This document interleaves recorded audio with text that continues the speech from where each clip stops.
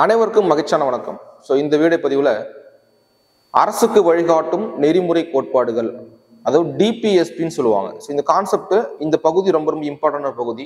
சிம்பிளாக சொல்லணும் அப்படின்னா இந்த பகுதியினுடைய முழு விளக்கம் என்ன அப்படின்னா அரசாங்கத்துக்கு அறிவுரை கூறுவதாக நம்ம எடுத்துக்கலாம். ஒரு அரசாங்கம் எவ்வாறு செயல்பட வேண்டும்? அந்த அரசாங்கம் தன்னுடைய மக்களுக்கு எந்த மாதிரியான சட்டங்களை கொண்டு சட்டம் கொண்டு வரும்போது மக்களுக்கு எப்படிலாம் யூஸ்ஃபுல்லாக இருக்கணும்?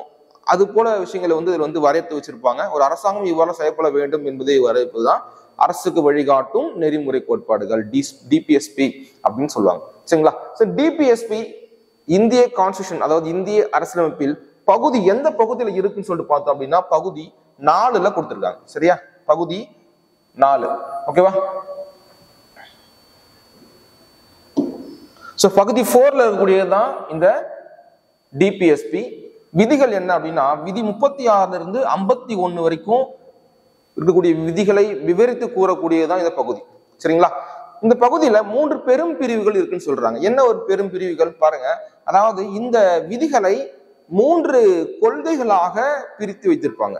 எந்த மாதிரியான கொள்கைகள் போட்டு பார்க்கலாம். ஃபர்ஸ்ட் சமதர்ம கொள்கைன்னு சொல்லுவாங்க. ஓகே சமதர்ம கொள்கை. இரண்டாவது காந்திய கொள்கை. மூன்றாவது தாராள அறிவு சார்ந்த கொள்கை. அப்படின்ட்டு ஒரு மூன்று பெரும் பிரிவுகளை கொண்டதுதான் இந்த பகுதி நாலு. இந்த விதிகள் இந்த மூன்று பகுதிகளுக்கு பிரிக்கப்பட்டிருக்கும். இப்போ முப்பத்தி ஆறுல இருந்து ஐம்பத்தி ஒரு விதிகள் இருக்கு. அந்த விதிகளை மூன்று பாட்டா பிரிச்சு வச்சிருப்பாங்க. சரியா? அப்போ இப்ப சொல்றேன் பாருங்க. என்னென்ன பாட்டா பிரிச்சு வச்சு சொல்லி பார்க்கலாம். ஃபர்ஸ்ட்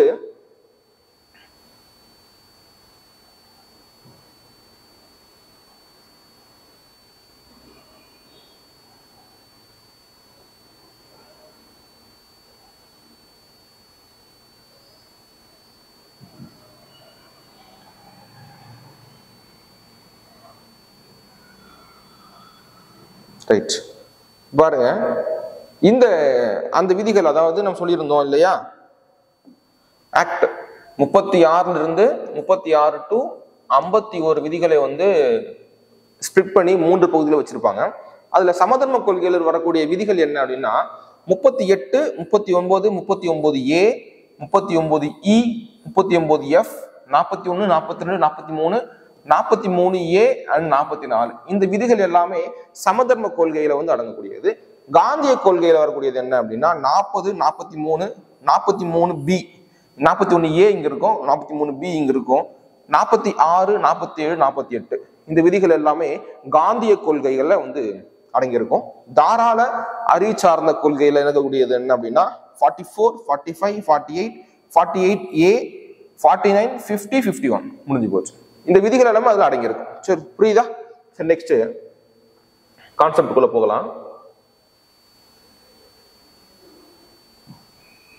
ரைட் இதுதான் வந்து இங்க கொடுத்துருப்பாங்க. கொள்கையில வந்து விவரிச்சு கொடுத்துருப்பாங்க. இந்த டிபிஎஸ்பி எதற்கான ஒரு சிறப்பான விஷயம் அப்படின்னா இந்த டிபிஎஸ்பி ரொம்ப ரொம்ப இம்பார்ட்டன்ட் அதாவது ஒரு அரசு மக்களுக்கு தேவையான பாருங்க கொள்கைகள் பாருங்க இவை நாட்டின் நிர்வகிக்க ஒரு முக்கியமான விஷயம். சட்டம் இயற்றும் போது சட்டம் இயற்றும் போது இந்த கொள்கைகளை கவனத்தில் வைத்துக்கொண்டு சட்டங்களை இயற்ற வேண்டும் அரசாங்கம்.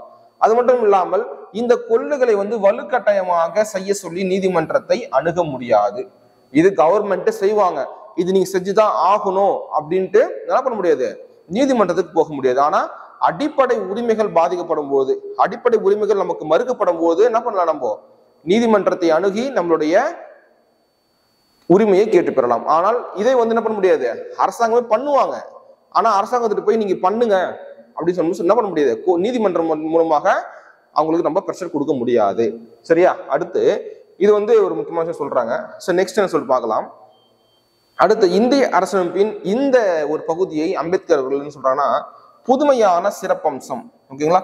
புதுமையான சிறப்பம்சம் என்று பகுதி நான்கை கூறியவர் யார் என்றால் டாக்டர் அம்பேத்கர் அவர்கள். சரியா? ஞாபகம் வச்சுங்க. ரைட் நெக்ஸ்ட் ஸோ இது பாருங்க.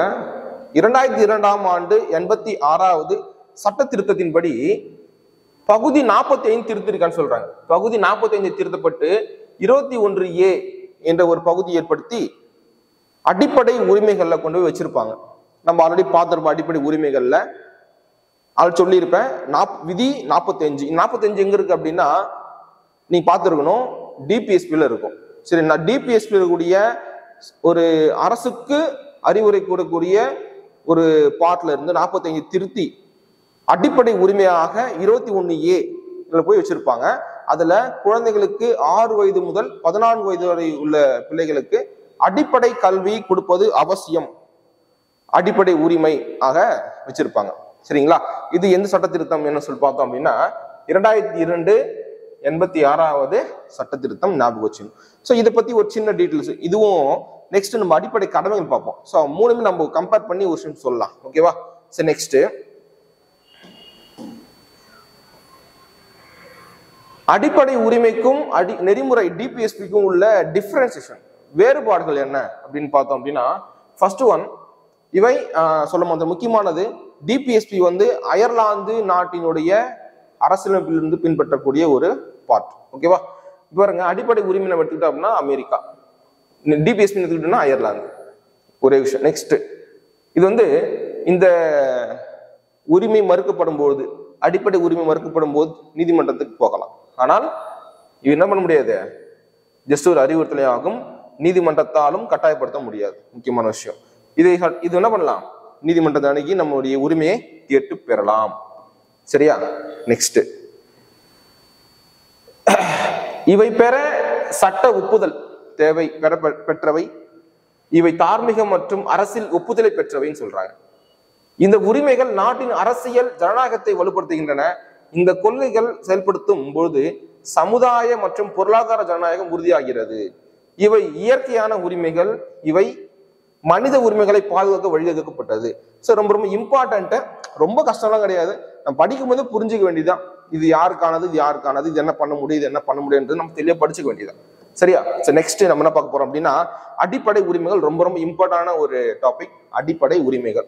ஸோ அடிப்படை உரிமைகள் பார்த்தோம் அப்படின்னா அடிப்படை உரிமைகள் எங்கிருந்து கொண்டு வரப்பட்டதுன்னு சொல்லி பார்த்தோம் அப்படின்னா சோவியத் ரஷ்யா ஆர் யூஎஸ்எஸ்ஆர்னு சொல்லுவாங்க. ஓகேவா ரஷ்யாவிலிருந்து கொண்டு வரப்பட்டதுதான் இந்த அடிப்படை கடமைகள்.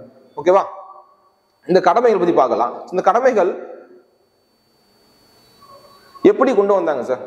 எடுத்த உடனே கடமைகள் வந்துட்டாங்களான்னா கிடையாது.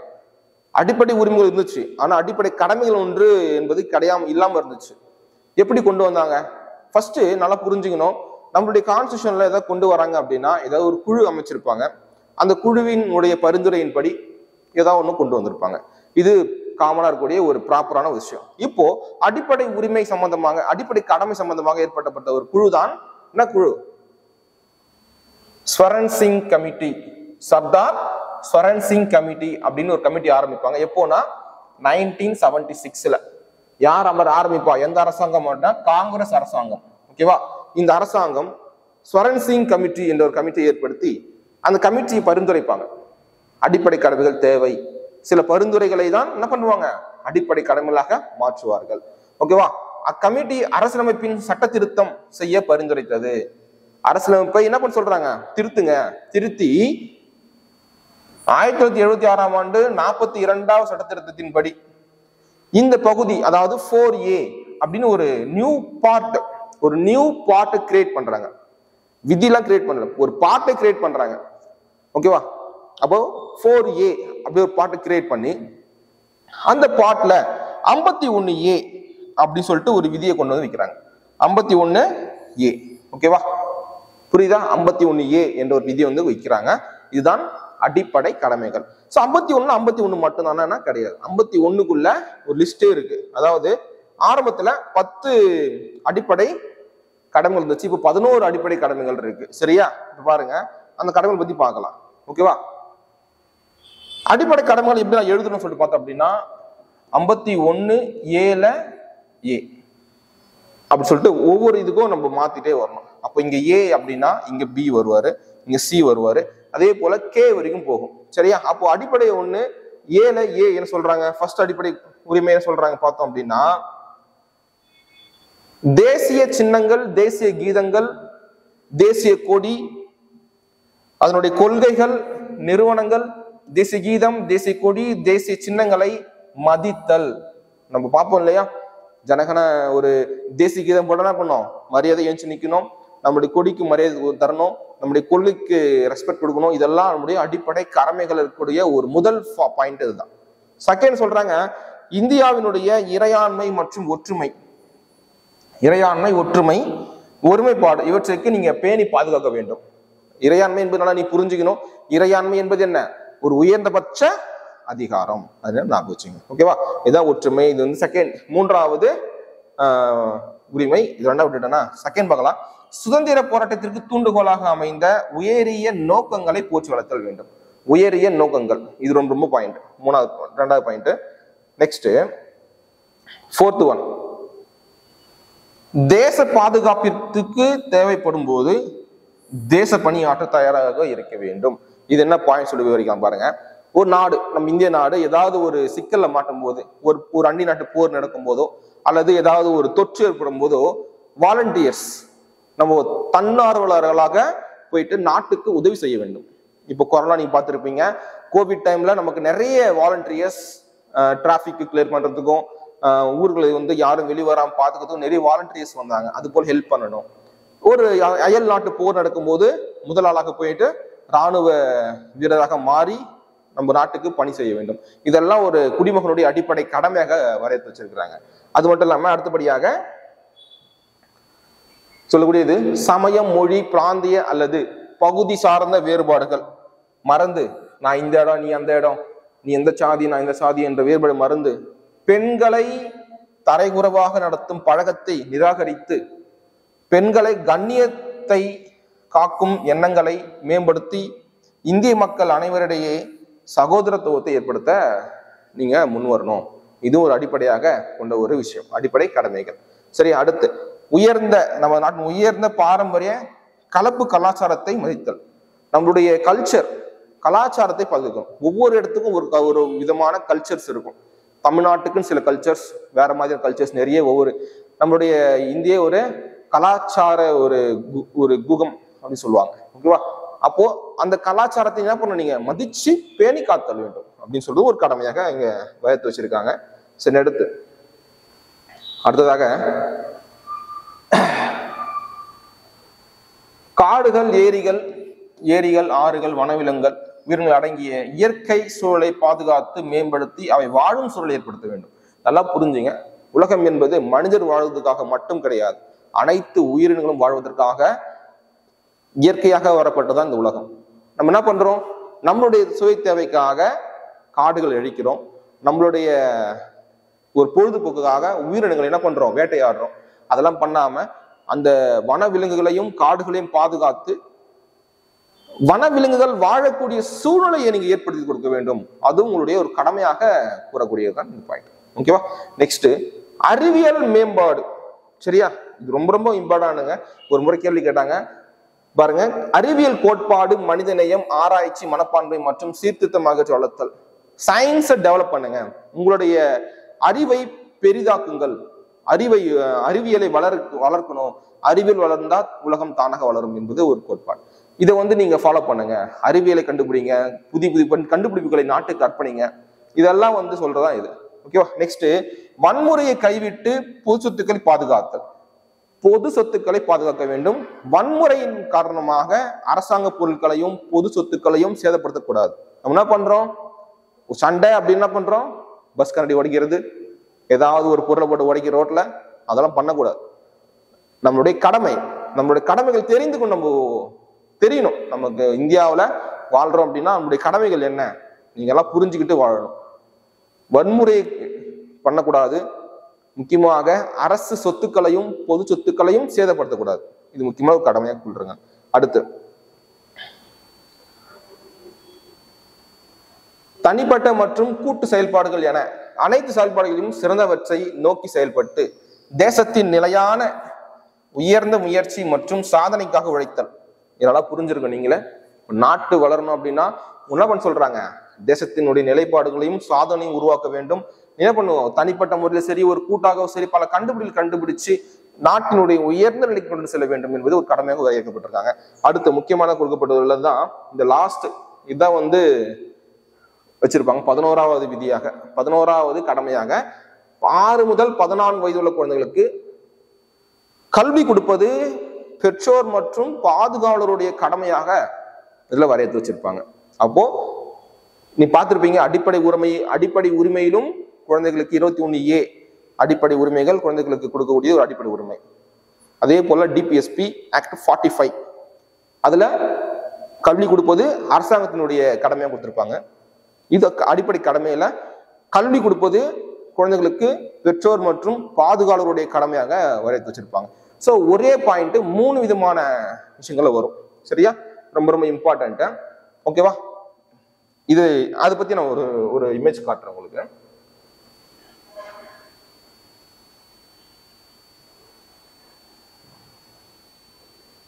பாருங்க.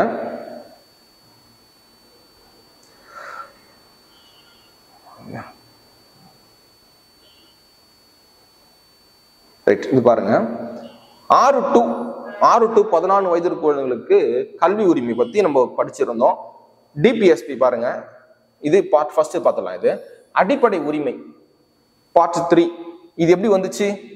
பார்ட் ஃபோர் டிபிஎஸ்பிஐ விதி நாற்பத்தஞ்சு திருத்தி அரசின் கடமை அப்படி சொல்லக்கூடிய இந்த கடமை என்ன பண்றாங்க. அடிப்படை உரிமையை மாத்துறாங்க. எப்படி மாத்துறாங்க? ஆக்ட் டுவெண்ட்டி ஒன் ஏ மாத்துறாங்க. சட்டத்திருத்தம் என்ன? இரண்டாயிரத்தி இரண்டுல எண்பத்தி ஆறாம் சட்டத்தின்படி அடிப்படை உரிமையாக மாத்துறாங்க. இதுவே டிபிஎஸ்பியில் இருக்கக்கூடிய விதி நாற்பத்தி அஞ்சு. ஓகேவா? அப்படி இப்படி வந்து பாருங்க. அடிப்படை கடமையில பார்ட் ஃபோர் ஏ அதுல வந்து ஐம்பத்தி ஒன் ஏல கே அப்படின்னு சொல்லுவாங்க. இது குடிமக்கள் மற்றும் பெற்றோருடைய கடமையாக கொண்டு வச்சிருக்கிறாங்க. இந்த அடிப்படை கடமை எப்போ கொண்டு வராங்க? நாற்பத்தி இரண்டாவது சட்ட திருத்தம் ஆயிரத்தி தொள்ளாயிரத்தி தொண்ணூத்தி ஆறுல ஐம்பத்தி ஒன்னு ஏ அப்படின்னு சொல்லிட்டு ஒரு பார்ட்ல பார்ட் ஃபோர் ஏ கிரியேட் பண்ணி உள்ள வச்சிருக்கோம். சரியா? இதுதான் டிபிஎஸ்பி மற்றும் அடிப்படை கடமைகள். சரியா? அடுத்த வகுப்புல கிளியரா ஒரு டாபிக் பார்க்கலாம். தேங்க்யூ